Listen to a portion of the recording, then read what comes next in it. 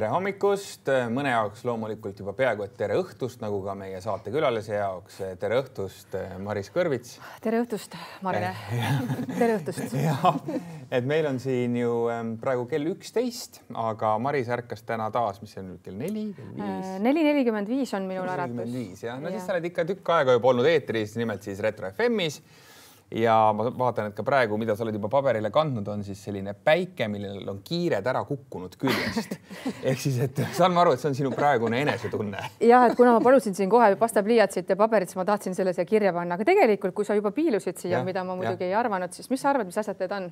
no mõtlesin, mis see on, see on päike, millel on kiired no, ära sa tahtsid nalja teha. nii, ma, ma, ma ei tea, see on O-täht ja hästi palju i-sid mm. -hmm. küsi mu käest, mis uudist? mis uudist? Äh, ma saatsin just emaili äh, autorehvi vahetus vastusse, sellepärast et lubatakse ilma, kus hakkab sadama selliseid asju uuel nädalal ja rehvid tuleks ära vahetada mis on siis äh, põhiline uudis praegu, et see ei tuleks ootamatult. mina olen selle ära öelnud, et ärge öelge mulle pärast, et äh, tali ja lumi tuli ootamatult. aa ah, jah, sa ütlesid, kuidas ma pärast saadet lähen, lähen teen selle siis ära, sest et tõesti, ma vaatasin, et pühapäeval nüüd lubab juba sademeid, aga ma ei tea, kas nüüd mm -hmm. on see mhm. lörts või on lihtsalt vihm. no uue nädalavahetus see lubab sellist äh, külmemat olukorda, kus need kruubid pidid maha tulema, nii et pange see rehvivahetuse aeg ja. ära kohe. ja veel üks oluline asi, mida see võib ka tähistada no.. tead, magada hakkab kauem saama, sest et kella keeratakse nädalavahetusel mm. -hmm. kuule, tänud, siis on Võta meil jaks. päris palju selliseid tõesti väga ajakohaseid ähm, uudiseid ja, ja vaatame nüüd päris uudiseid korraks meie uudiste edetabelist.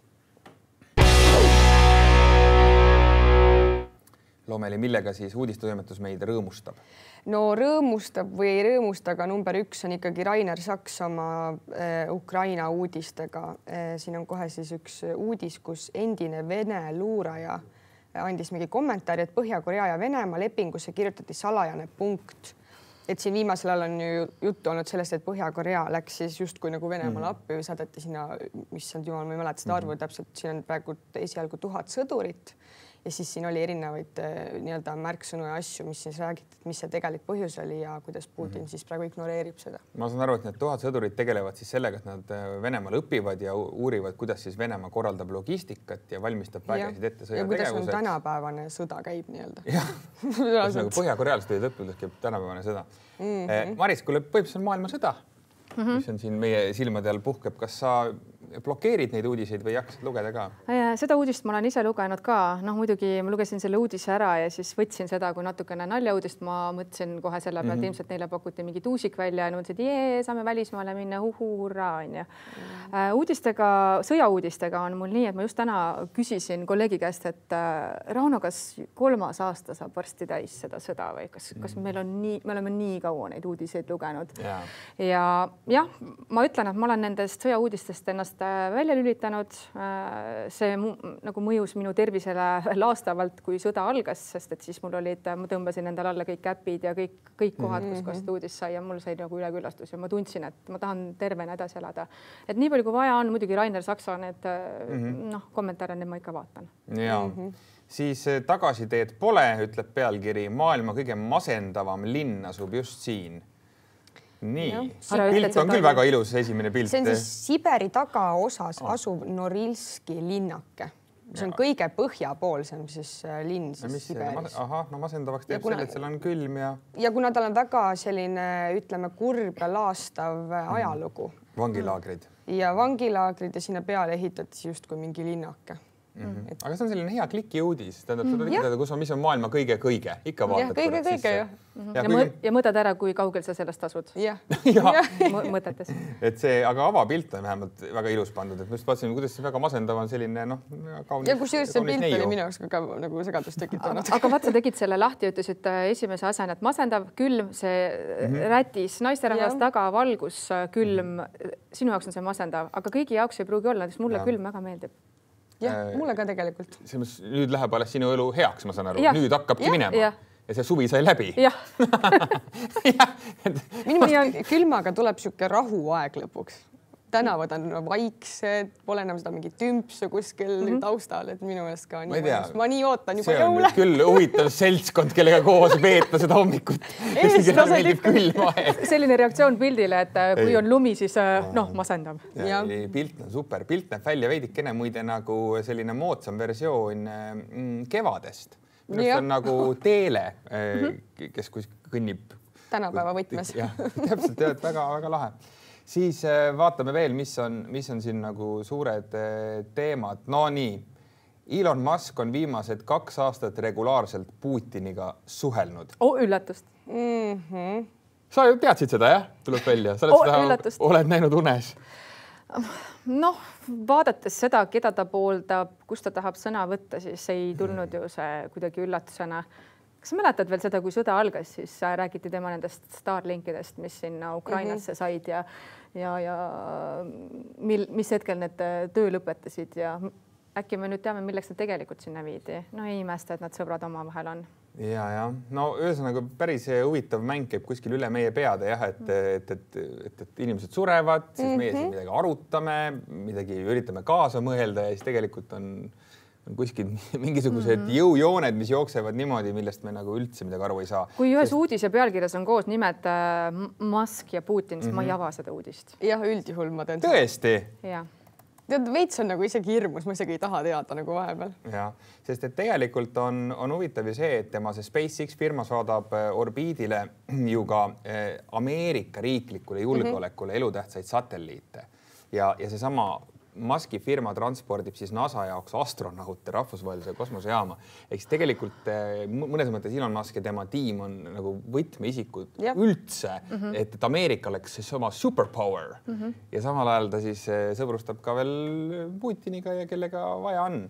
Et, et selles mõttes on see nagu väga huvitav ja, ja muide, miks ta nüüd nagu ka Trumpi pooldab ja, ja miks ma saan aru, kus ta leiab võib-olla ka Putiniga no lisaks veel muudele väärtustele mingit kokkupuudet, kui Putinil üldse mingeid väärtuseid on, siis eh, on tegelikult see ikkagi niisugune anti-woke sest et Musk on üks kõige häälekamaid selliseid woke liikumise vastaseid hääli mm -hmm. üldse nagu USA-s praegu mm. -hmm. siis ma saan aru, tal on ühe lapse, tal on lapsi hästi palju mm, -hmm. rohkem isegi kui sul, Maris olen kursis jah. Maris on nelja lapse ema, aga Elonil on ikkagi no ma ei tea, ligi kümme vist, no ütleme niimoodi umbes, kuna tal on neid nii palju, siis võib umbes öelda. ja ma saan, et üks laps on vist nendest vahetanud, kas lausa sugu või kuidagi ühesõnaga identifitseerib ennast teistmoodi, kui Musk tahaks mm. -hmm. ja siis see on teda eriti marru nagu ajanud, et ta on siis ühe lapsega kaotanud, kaotanud selles mõttes sellise kontakti nii et äh,, nii et, et sealt sellest woke liikumisest äh, tulenev nagu viha ühendab siis teda nagu Trumpi ja Putini Mhm. mõlemaga. kas selle uudise peale saab siis öelda, et äh, siia sobib see ütlemine, et ütle mulle, kes on sinu sõbrad, ma ütlen sulle, kes oled sa ise? jah, jah, ma Jah. arvan ka see oli hea kokkuvõte, ma arvan, et ma arvan, et saab küll öelda niimoodi jah, et ega, ega kindlasti ei ole Musk mingisugune lihtne poiss mm. -hmm. kellele meeldiks kõik need väärtused ja see ime- imeline elu, mida, mida me siin püüame elada. Tal, tal on kindlasti muud vallutuslikud plaanid, seda kohe kindlasti. siis Tartu Postimehest, Loomeli, sa leidsid ühe, ühe siukse, siukse nõmeda loo, mis on juba muutumas refrääniks.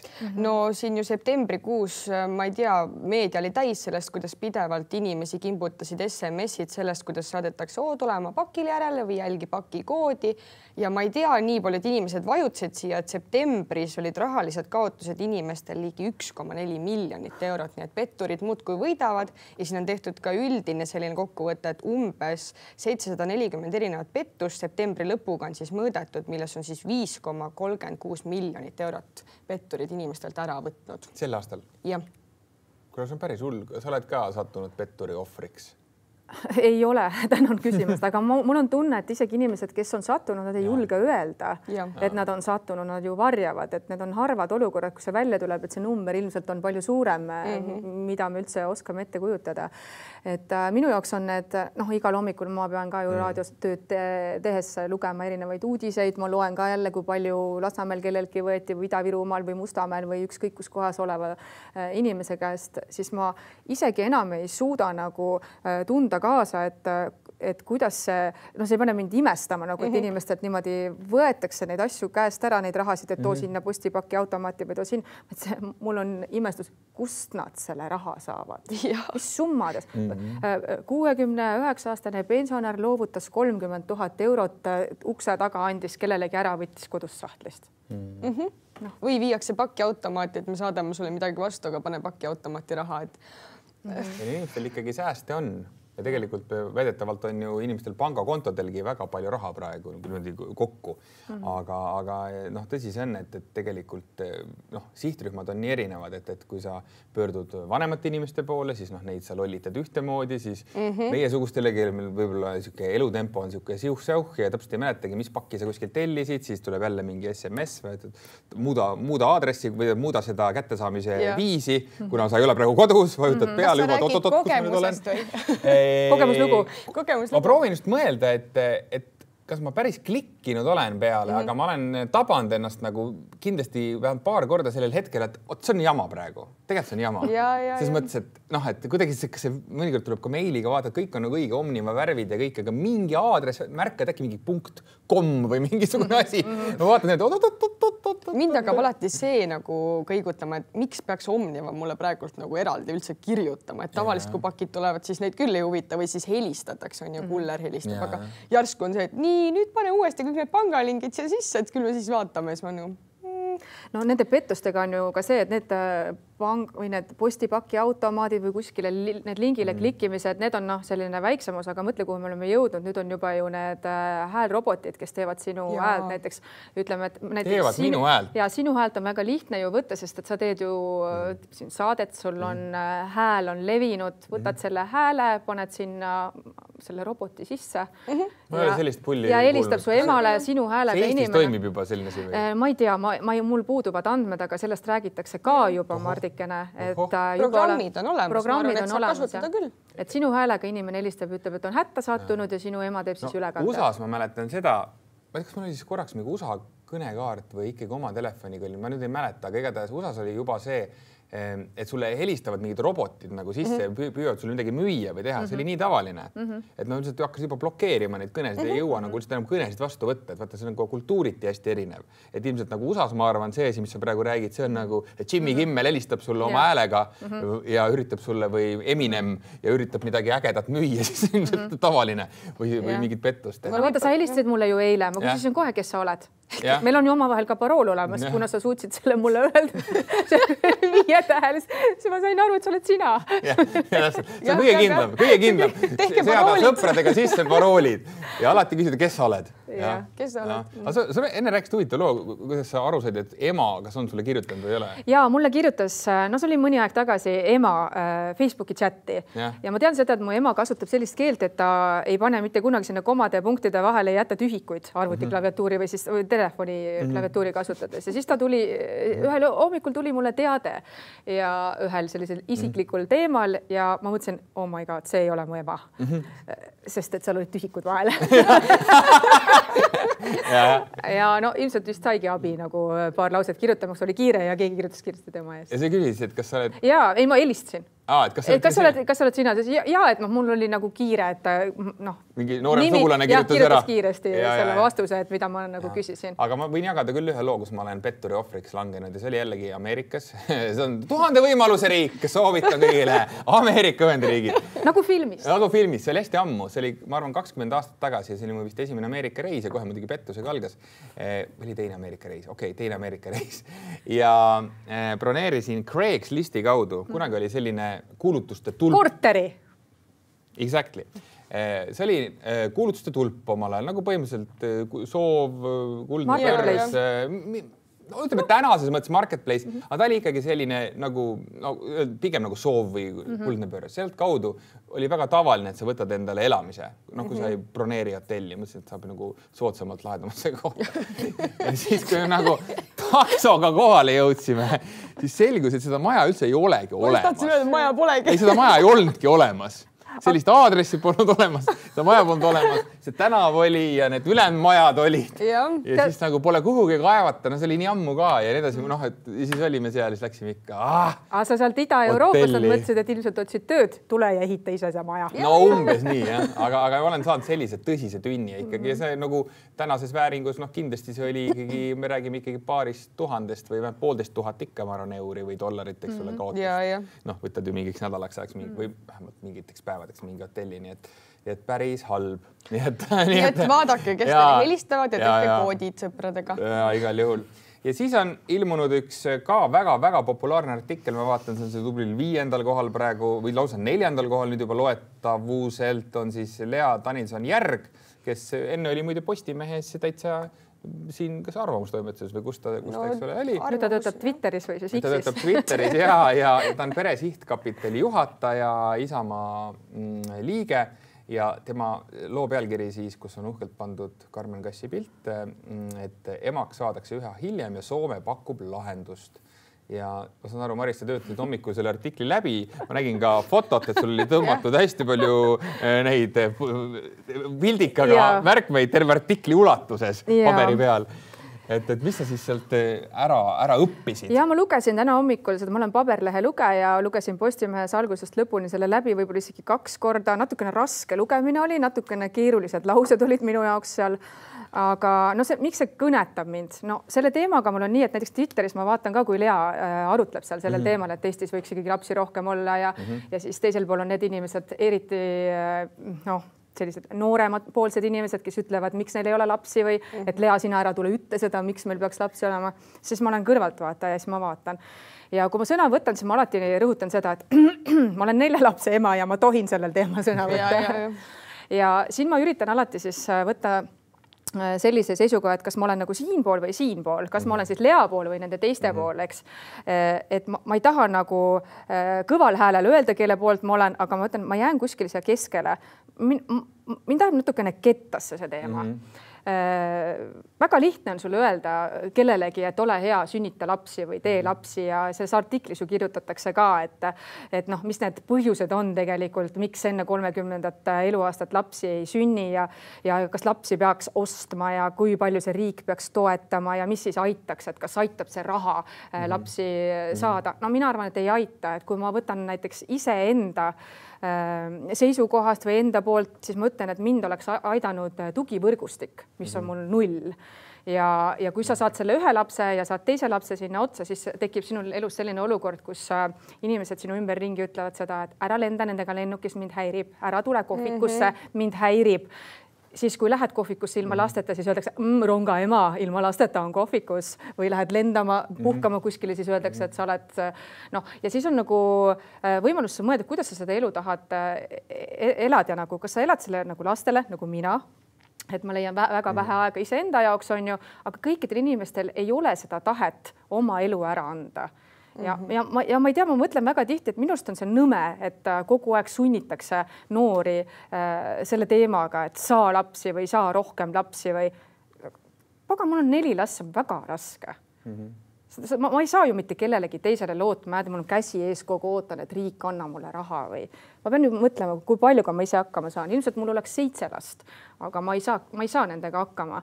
ja, ja olen mõelnud ka, et kuidas siis vanasti sai niimoodi, et noh, me mõtleme nende äh, lugude peale, kus inimesed räägivad, no me elasime ühiselamutoas, kapi taga elasid noored ja siis meie olime sealpool ja ikka lapsi tuli ja nii mm.. aga vaata isegi siis mulle tundub, et oli lihtsam seetõttu, et sul oli nagu kuidagi oma aega, et keegi aitas sul vaadata neid lapsi, sa käisid, hingasid seal õues ja, ja ka nüüd nagu, kui see tugivõrgustik puudub, noh, no mind ei, mhm. mind ei paneks mingi raha eest küll lapsi juurde mhm. saama, et pigem ma nagu tahaksin, et ma saaksin kuidagi nagu olla hea ja terve lapsevanem, aga mul ei ole seda võimalust ja ma arvan, väga paljud inimesed mõtlevad ka seda, et mida mul sellele lapsele ikkagi pakkuda on. noh, mhm. niisama neid lapsi teha, noh aga kuidas see üldine turvatunne, eh, kas see, vaata räägitakse hästi palju praegu mm -hmm. sellest, et nii rasked ajad on mm, -hmm. on see siis see sõjahirm mm, -hmm. on mhm. see majanduslikult praegu keerulised ajad mm -hmm., energiakriisid, kõik jutud, ma ei tea, kliimakatastroof, noored võib-olla mõtlevad üldse, et mis siin üldse saab kindlasti mõtlevadki, seal artiklis kirjutatakse mm. ka sellest, et äh, mõtlevadki selle peale, sul ei ole ka õiget partnerit, siis sa mõtled sellele kliimale, selle jalajäljele, mis sa siia mm. maailma jätad. minu arust on äh, väga teadlikud need noored, et noh, mina näiteks ei oskaks välja käia äh, kõige paremat lahendust, et mis, mis neid lapsi juurde tooks, aga võib-olla siis noh, nii palju, kui ma olen ise noorte inimestega rääkinud, mul on ju endal vanem poeg on peaaegu kahekümne viie aastane mm -hmm. ja kui ma olen talle vahel naljaga öelnud, et mm -hmm. millal ma siis vanemaks saan, siis ta ütleb, et ma peaks enne ise nagu täiskasvanud täiskasvanuks saama mm. -hmm. aga äh, need noored inimesed, kes on lähemale kolmkümmend, nad ütlevad ka, et äh, mul ei ole kodugi noh, need, need esimesed sammud sellest mingisugused mm. kodu, võib-olla siis need noored ootavadki, nii nagu selles artiklis ka vist kirjutati, et Soome hakkab siis ostma neid äh, lapsi, et äh, maksma mingisuguseid äh, rahasummasid, kui enne kolmkümmend sünnitad lapsed, et noh, kolmkümmend tuhat jah, et mm Mhm. -hmm. justkui käiakse siis välja, kui sa oled alla kolmekümne ja, ja saad lapse, eks ju mm. -hmm. et äh, võib-olla mingisugune selline algus äh, oleks abiks, noh noh, tea. kolmekümnega sa muidugi korterit. no sissemakse saad, sissemakse, Kuopios võib-olla saad no aga Eestis ikka ei saa, no mõtled selle Sissemakse peale et see on nagu see asi vist mm, -hmm. millest on nagu puudu mm. -hmm. No, aga samas mõtlen jälle, kui ma esimese lapse sain, ma olin kahekümne ühe aastane. Nagu absoluutselt, absoluutselt ei huvitanud mingisugust sellist, et peaasi, et lapsel oleks kõht täis, tal oleks soe mm -hmm. ja, ja aga mida vanemaks saad, seda rohkem sa hakkad ikkagi mõtlema mingisugusele heaolule kuidagi noh, tummisemalt. et noh, see, see laste teema, et ma, ei tahaks, et nä- näpuga näidatakse kogu aeg nende poole, kes ei ole neid äh, lapsi veel endale perre saanud, et eh, noh, te olete nagu süüdlased mm. -hmm. arvan- mulle tundub, et niimoodi on praegu. no mulle tundub ja et äh, vahel ma siis jäängi kuidagi sinna keskele, siis mõtlen niimoodi, et äh, noh, ka lapsed on ju erinevad, lapsed on kergemad ja raskemad ja ja mõnel on äh, neli last ja illallaa ja ullallaa, mõnel on kaks last juba närvid täiesti läbi, sest et üks laps sul, ma ei tea, on selline ja teine laps on selline, sa lihtsalt ei jaksa. lõpuks sa oled sa vaimselt nii läbi. sa oled arsti juures ja istud seal nende retseptidega ja sööd mingeid ravimeid, on ju, sa pead ju kuidagi balansis hoidma seda, et nii palju, kui sa jaksad kanda, nii palju sa teed, kui sa ei, null, siis on null, mul on neli ja see, see, sellele viimasele kommentaarile võib-olla lihtsalt lisaks ka see, et, et mitte ainult lapsed ei ole erinevaid, vaid ka vanemad on Vanemad on erinevad, ka, inimesed on erinevad. ja tegelikult needsamad kaks last, kelle peale lapsevanem istub tablettidega, võib-olla mm -hmm. teises peres oleks kõik Jaa, just. hästi on just, inimesed on lihtsalt erinevad. näed, sina näiteks oled, mina olen hommikuinimene, sa oled õhtuinimene mm.. no kuidas meil läheks, meil läheks väga hästi, kui meil oleks omavahel laps, vaata, me saaks jaotada ära niimoodi no. nii, Brit ja eh, Henry, ühesõnaga see oli lihtsalt eh, loomusest. ja see lihtsalt näide. minul on oma abikaasaga täpselt sama lugu, et me saame vaata kuidagi ära jaotada, aga noh, kui sa oled nagu näiteks inimene, kes ei suuda öösiti ärgata ja sul on kaks tükki neid korraga, siis te mõlemad olete seal niimoodi, ei jaksa nende lastega, eks ju, ja no siin on nii palju nüansse, see ei ole ainult selles, et jah, tehke la- lapsi ja, ja teeme ja Mariselt tuli terve maatriks, mida tuleb hakata nüüd täitma. kui keeruline see kõik on ei tulnud siit midagi ei no siiski, siiski teema on tegelikult selles mõttes ju tõsine, et me oleme väike riik, me oleme väike mm. kultuur mm, -hmm. tegelikult alustaks üldse sellest, me oleme väike kultuur ja väike ühiskond ja kuidas me seda käimas hoiame ja, ja, ja noh, on ju, jõuame varsti. kui Maris tuleb järgmine kord jälle siia saatesse, räägib millestki migratsioonist ja sellest, et kas siis parem oleks tuua sisse inimesi mujalt, sest tegelikult Eesti ju rahvaarv praegu püsib mm -hmm. normaalne üldse ainult tänu rändele mm, -hmm. sisserändele selles mõttes see asi tegelikult, millest räägitakse võib-olla vähe, vahepeal jälle see kostub, et meile tuleb sisse lihtsalt nii palju inimesi, selle pealt me püsime ju oma iive on negatiivne. ja see, kui hakkad selle peale korraks mõtlema, mis see tähendab, no. Palju sa oled ise saanud äh, aidata Eesti rahva iibe tõstmises, kas sa nagu mõtled iga päev selle, palju mina olen panustanud? no vot no. ei mõtle iga päev selle peale, eks ole, et äh, üle päeva. üle päeva jah ja, tänan, Lomeli. no nii, ühesõnaga mõtteainet on siin palju, aga tõesti retsepti on jube raske anda ja mm -hmm. mõnes mõttes vahva, et soomlased pusivad selles mm -hmm. mõttes, et väga hea, nendel on, kuidas öelda, tublim niisugune ühiskond mingis mõttes, nad on kauem seda rada kündnud, kui neil on samad probleemid nagu meil, äkki on sealt midagi õppida, nii et las nemad muudkui uurivad ja puurivad ja me võtame paremad praktikad üle. niimoodi nagu öökülaline on tegelikult Soome pealt võetud saade. nii et ühesõnaga Soomest tuleb palju head, kindlasti on Soomes ka head raadiojaamad, kus saab õppida mm -hmm. ja Soomes kindlasti head ajalehed, kus saab õppida, kuidas ja. tööd teha. nii et selles mõttes, et Soome, hurraa, väga tore, Maris, aitäh, et tulid. aitäh. ja kohtumisteni varsti jälle